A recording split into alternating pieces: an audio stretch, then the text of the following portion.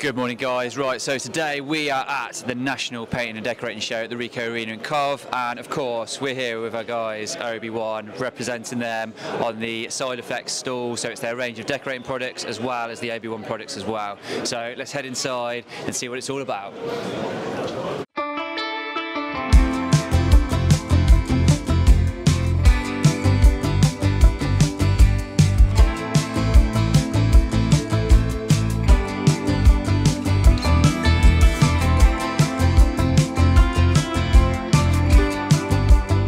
Right guys, this is it. We are on the Siroflex stand slash OB1 stand. So it's their range of products for decorating as well as their adhesives and sealants. Pop around here and we'll see. So we've got the spin to win as we normally have, which is awesome. People can win loads of fantastic prizes on that. We've also got the little demo area set up here. So this is where we'll be. Morning, you're right? This is where we'll be demo demoing all the Siroflex stuff, so the caulks, fillers, that sort of thing. And over here is where the OB1 stuff will be demoed as well, so all your sealants and adhesives. It's going to be a good day. There's lots of people outside waiting to get in, so I'm going to get set up with these guys and then we can crack on. Let's do it.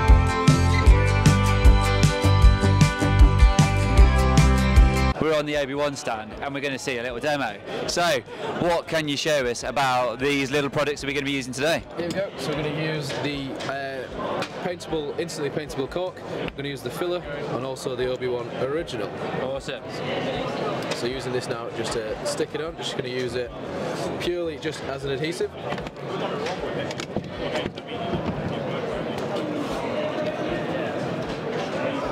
Straight on there, a little bit of pressure. And that will grip it straight away. So this is the instantly paintable caulk, yeah? That's the one. Is the instant filler. So what I'm going to do is I'm going to fill these gaps here. So this is a proper filler for filling in plaster and stuff like that, yeah? Yeah, you don't need to use like, any um, large quantities, large boxes. You just straight away with a tube. And it fills the gap. Nice. And that should give us enough time to go straight away back. Straight back over the top of that caulk with some paint, which is generally a no-no, isn't it, with other brands? Yeah, normally you need a hell of a lot more time than this before you can paint it. Now I'm no painter, but you can see there you've got the coverage over the caulk. There's no dragging on the brush either. So the material's all still in there. All stays on there and the colour is all covered over. And then when that fully dries, there's no shrinkage or cracking or anything like that. True to its size and shape, it just dries just like that. And it's a very flexible. Flexible as well, it, it can adhere to different uh, compounds, it needs to get into different gaps and things like that. Awesome. Okay. So um, with regards to the plaster filler, Yep. can you sand that down? Yeah, once it's fully cured, Yeah. leave it uh, for 24 hours and then you can lightly sand it down. Give it a light sanding. Awesome. You can apply that in layers as well if you need to. Yeah, you can redo it again. Obviously, if I did, if that was a bit longer after, I'd be able to just re-go over it as many times as I need. Quality. So OB1 has got everything covered, haven't they? It absolutely does. So there you go, another one of the systems that OB1 provides, which are absolutely amazing and will save you time and also give you that quality finish that you're looking for. Nice one, guys.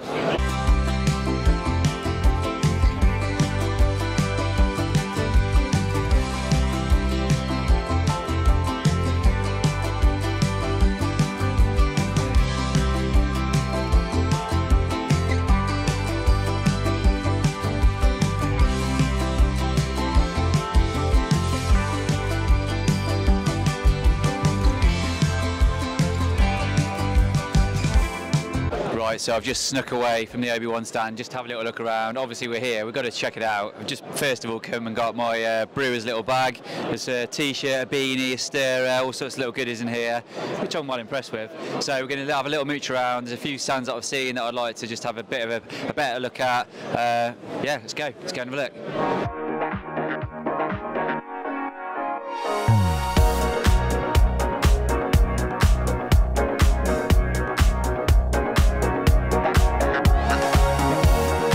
So there are lots and lots of obviously decorating stuff, but lots of brushes, rollers, filling knives. There's also stuff like this. So this is an academy that do various different courses um, for different finishes, resin stuff like that. spray paints. There's lots of paint cleaners. There's lo- there's loads of stuff here. It really is. It's quite interesting to be fair. Obviously, I'm not a decorator, but it's good. I like it.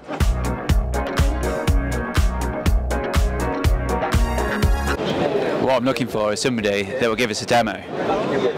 There's also, obviously, uh, health and safety requires dust extraction on a lot of things, and obviously with decorating, there's going to be a lot of sanding and stuff like that involved. So there are a lot of uh, vacuums and dust extractors and stuff like that. So we've got these guys I've not seen before. They're called MaxVac. There's Mirka. There's a few others as well. Obviously, it's very important to keep dust down when you're sanding because it's it's dangerous and it's not good to be breathing in. So this stuff, this is resin repair stuff. And there's a lot of this around on social media at the minute showing people doing these sorts of repairs. So I'm quite interested in this product. So let's see if we can find somebody who'll give us a little demo.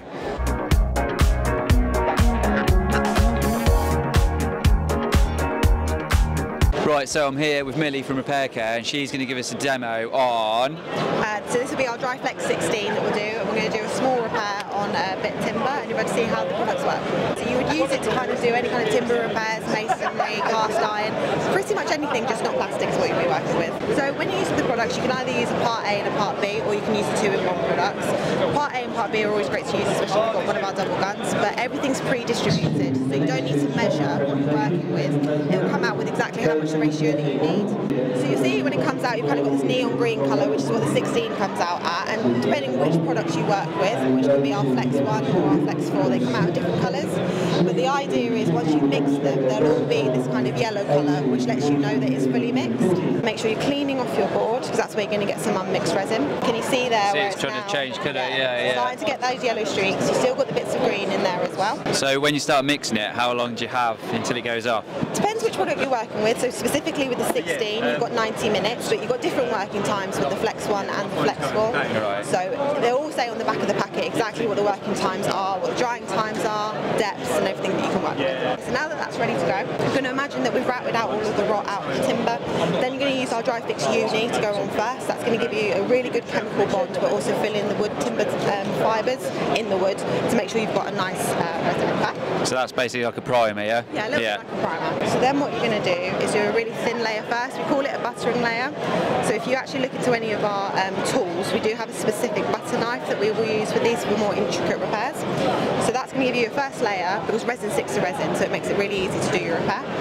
Then you're going to start pushing into the product. You don't want to kind of just pile it all in because then you might get air bubbles into it, which will make the repair a little bit weaker. So you want to push everything in. It doesn't need to be neat, it just needs to make sure it's fully proud into the repair. And then what you're looking for is the resin to be proud either side of your repair. And then you get into the impressive part. So all of our resins are designed to be cut. They're not designed to be sanded. So you want to cut all of the resin so that you have got the full shape there rather than having to mould it afterwards or sand it down. Yeah, yeah. So our knives are specifically designed with this right angle. They're the only right angle knives in the market purely for this uh, reason, so that you can cut the product. So you just want to cut it towards you, always pulling the resin in towards you rather than away from you. That's smart, that is. I like that. Straight away. Sharp edge, which is brilliant. If you were to pull it away from you, because resin sticks to resin, it can kind of pull the resin out of the repair. So always in towards the resin repair. Very easy to. Once that's cured off, which could be either one hour, four hour, 16 hour, you give it a slight sand either side and then you'll be able to paint straight away. So there's no shaping involved and you've got that nice clean edge. That's not going to go anywhere. It's not going to fall out. If you have missed a little bit or there's a little nick in your timber anywhere, what you then want to use is our super finish and then that's a fine surface filler so that'll give you something a little bit extra to work with after that too. Awesome. Okay, so now questions. So what's the advantage to this over normal two-part wood filler? So two-part wood fillers, they are what they say. They've got fillers in them. So sometimes you have have issues where they're just a bit of an aesthetic fill, so they can kind of over time fall out, crumble away. They're not as durable. Clean epoxy resin's got no fillers in it whatsoever, so it's a lot stronger. You've got a 10-year guarantee, but realistically, it'll pretty much outlive whatever you put in. Wow, okay. And so, like you said, you can sand it down and everything afterwards. If you want to do, it's not it's not designed to be sanded because it's designed to be moulded. Yeah. So you shouldn't have to, but you just need to sand it down a little bit to give it a key to paint over afterwards. But you could router it out afterwards if you want something really specific or like very ornate. You could do, but it's much easier just to mould into shape. Awesome. And then does it need any special paint to go over the top of it? No, you just need to follow exactly what the paint instructions say. So if it says a primer and two coats, that's what you've got to work with. Um, so just follow the instructions, but no, it doesn't need anything special at all. You just literally treat it as you would with wood. If it was normal timber Yeah. or masonry, cast iron, whatever you're working with. What? So what can it repair? So you just mentioned masonry as well. So Yeah, so it can repair absolutely anything other than plastic. So if you wanted to repair brickwork, what you can do is use an oil-based pigment, dye the resin, so you can dye it red, and then use some brick dust and repair the masonry, cast iron downpipes, pretty much anything really. brilliant. Okay. So is there anywhere that we can find you on social media or what's your website? Definitely follow Repair Care International online. Um, we've also all got our own Instagram accounts, mine's Repair Care Millie, if you want to follow me as well. Um, but yeah, our Instagram's really big, uh, Repair Care on TikTok, and our website's uh, www.repaircare.com. Awesome. Thank you very much. Take care. See ya. I just want to highlight this massive Purdy brush. It's going to take some serious skill to cut with that. Right. Let's go and have a look over here at the Wagner spray paint. Spray paint, the spray guns. It's saying live demo. It looks like the guy might already be giving a demo. So Oh, here's a man that may give a demo. Right then, so I'm here with Phil now from the Wagner store. It is Wag- Wagner, isn't it? Or Wagner? I, I prefer saying Wagner, but some people say Wagner, some people say Wagner. We'll, we'll go with Whichever way you Wagner. liked it. Wagner. So Okay. we're on the Wagner store. How you doing, Phil? Very well, thank you. How are you, John? I'm good, thank you. I'm good. Right, so today we're going to talk about your new product. Yep. Could you just tell us a bit about it, what it is? Absolutely, it's our latest uh, innovation to the market. This is our SprayPack 18 volt, which is basically an airless machine inside a backpack. Very innovative with a, with a maximum spray pressure of 110 bar. Nice. 0.9 litres per minute output. So what's really innovative about this product is obviously the fact that it's battery driven. We work in collaboration with Bosch, so we partner with them. We uh, deliver one 4 amp ProCORE battery, Yeah. uh, one uh, battery charger, uh, the backpack, uh, 7.5 meters of DN4 hose, our professional gun Vector Pro, a tip holder and our fine finish tip. So it's really aimed at the wood and metal market. Right, okay. So the fact that it's on a backpack and battery powered means you've got a lot more maneuverability around. You're not restricted with things. That's exactly it. you you've got complete freedom. You can walk about wherever you want to. No cables, no attachment. You want to go onto scaffolding. You want to go into different rooms because you have to do touch-ups. It's perfect for these kind of applications. Are there any restrictions to the sort of paint that it can spray, or We're really aiming it at uh, at the uh, wood and metal market, but you can spray emulsion. So the maximum test size is 17 thou, uh, maximum pressure of 110 uh, bars. So obviously, you're looking at it depends on the solids, but emulsions can be sprayed. Yes. Oh wow, okay, that's cool. Um, do you want to give us a little Absolutely. Just demonstration? maybe maybe I can quickly explain it a little bit Yeah, more about can, the yeah. unit. So Yeah, what's means. really exceptional about this machine is the fact that it's got a 4.7 litre tank, so basically five litres, meaning that you can spray autonomously for quite some time. You don't have to recharge the unit all the time. Especially also what's important is that one battery can spray twice the tank and then there is even enough energy to clean the machine completely. So once again, a lot of time of freedom and you can do the job you want to do as in work efficiently. Time is money, isn't it, as well? So Exactly, that's it. So there are three ways of, of using the machine. Either you can hold it in your left hand and spray with your right hand or vice versa if you're a lefty. You can put it on the floor, use it as a stationary unit like a general airless machine, or my preferred version is you put it on your back. Put this together here, just to keep the security, obviously and then you're ready to go. Also, what I would like to draw your attention to now, this is an optional accessory we've, we've put on the, the machine is our Flex Twist Z swivel. Why is this important? Because obviously when you spray vertically first, then you change over the tip guard, you spray horizontally so you cross over. Well, this takes a lot of time. If you count the amount of times you have to do this in a day, it's quite a lot, meaning that you will lose time, you will lose money. So with our Flex Twist Z, Z swivel, you can just spray vertically, then just flip over, and you can spray horizontally. Once again, That's clever. Innovation, working efficiently. We're not reinventing the wheel. However, we're adding value to the end customers, which is what we're looking to do. you're trying to wait, make that wheel move a bit faster. Exactly. If you can, why not? All right, let's spray. So.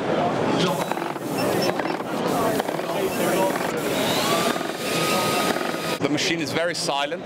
I was just going to say that is a really quiet machine. You can see it's only kicking in when you need it. It's not constantly buzzing away, is it? So just one point, which is obviously extremely important, if you're going to carry this on your back the whole day, the machine only weighs 4.2 kilograms without paint, so you now add another 5 kgs of paint, obviously depending on the density, so you're below 10 kilograms. You can carry, th carry this around the whole day and Quite comfortably. time spraying. Yeah.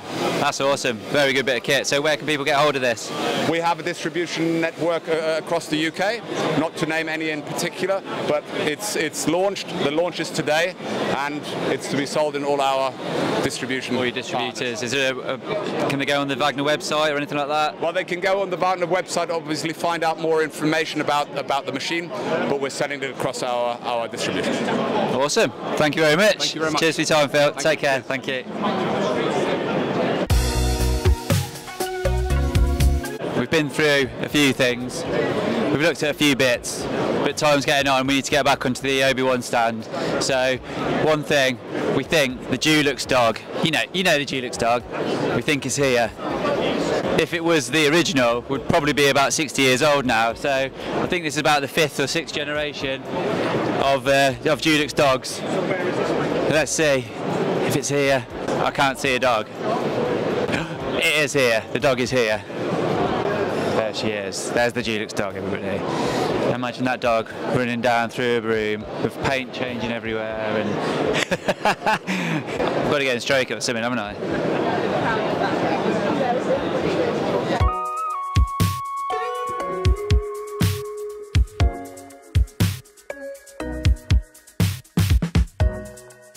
Right, so I'm with Mark on the Dulux Decorator Centre stall and we've got the lovely Dulux dog here. So could you tell me a bit about her? Her name's Vienna. Vienna, yeah? Uh, Vienna's four years old, and Vienna's been the Dulux dog since August this year, uh, when I retired her mother, who was also the previous Dulux dog, and her grandmother was previous to that. So she's third generation Dulux dog. She is, and, she, and in the number of Dulux dogs since 1961, she's number 16. Oh wow. Is it all the same bloodline or? It has been. Um, Really? We've we've traced ours back, and we're related to the very first one in '61. Um, so she's number 16. Uh, we've also got number 17 at home as well. Oh, wow. So we've had a puppy. Um, she had a first litter of puppies. Vienna, come back. Uh, we had a first litter of puppies in uh, July, and we've kept one. And she'll be the Dulux dog in about five years' time. So how long will she be the Dulux dog for? She'll be the Dulux dog now for about four years, uh, and then her daughter will take over, Yeah. and then we'll breed a daughter. So we've got a fifth generation. Uh, we kind of, we, we've almost created a royal family with the Dulux dog. So she's the princess at the moment. Yeah, yeah. So what what's her uh, royal duties as a Dulux dog? She she does all of the trade shows for Dulux. We do store openings, celebrity photo shoots, you name it, we do it. but all with all with Dulux. Yeah, so very famous then. Absolutely, she is the Dulux dog. That's amazing. Wow, thanks for your time, Mark. Take care. pleasure. And thank you, Vienna. Can I stroke her? You can. Yeah, yeah.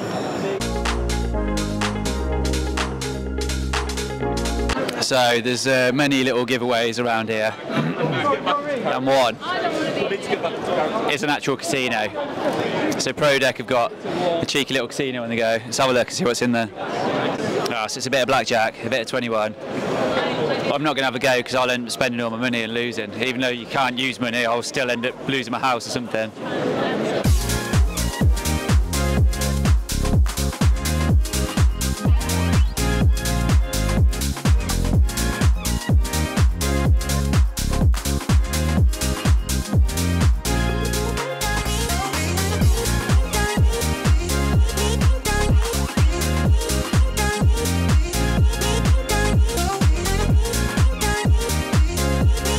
Right, guys, so that's it for our time here at the Paint and Decorating Show. It's been really good to be fair. We've given away lots and lots of prizes on this. The guys from the OB1 stand and the Siroflex stand have been doing excellent work. They've sold loads, they've given loads of demos and drummed up loads of new business. I've learned a few new things around here and saw some stuff that I definitely want to use moving forward. So yeah, all in all, it's been a great day. Thanks for watching guys. See you next time.